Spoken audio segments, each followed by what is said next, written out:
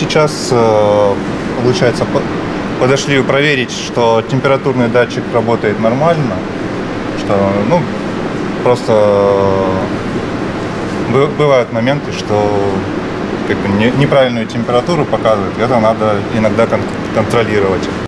Ни один скачок температуры не упустит из виду бдительный Игорь Черняев. Он трудится в цехе дорожно-строительного предприятия. От профессионализма мужчины зависит производство бетонных смесей. Если градусы опустятся или наоборот поднимутся выше 50, оборудование просто не запустится. Вникает в тонкости работы завода Игорь Черняев полгода. До этого трудился в IT-отделе банка. Хотелось что-то новое все-таки попробовать, какие-то моменты. Ну и во-вторых, тут все-таки зарплата была сильно лучше, чем предлагали мне.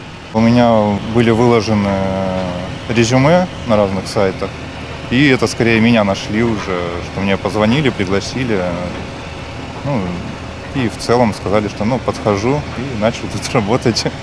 Большая часть рабочего дня Игоря проходит в офисе. Здесь в программе 1С он проверяет, сколько материалов изготовили за день мастера. Физически мужчину на предприятии не нагружают из-за особенностей здоровья. У Игоря Черняева поражение опорно-двигательного аппарата. Но это совсем не мешает его работе. Сотрудника на заводе ценят. Искали долго, достаточно тяжело найти человека э, с, такими, с таким опытом работы, так скажем. И непосредственно на производстве уже э, люди, так скажем, набираются практики. Данный специалист, то есть у нас работает относительно недолго, порядка там полугода, и думаю, с каждым месяцем все больше и больше он начинает соображать в нашей специфике.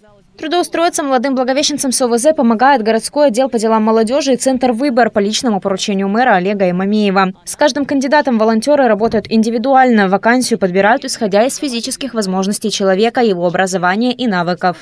На сегодняшний день в банке вакансий есть э, разные вакансии, и э, наши сотрудники Центра Выбор могут предложить э, кандидатам, а, например, от рабочей профессии, например, это уборщик служебных помещений, либо дворник, до уже профессиональных на- направлений, такие как инженеры, программисты.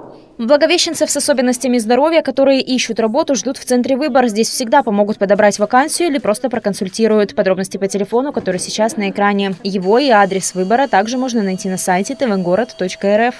Алена Лепкалова, Максим Яценко. Программа «Город».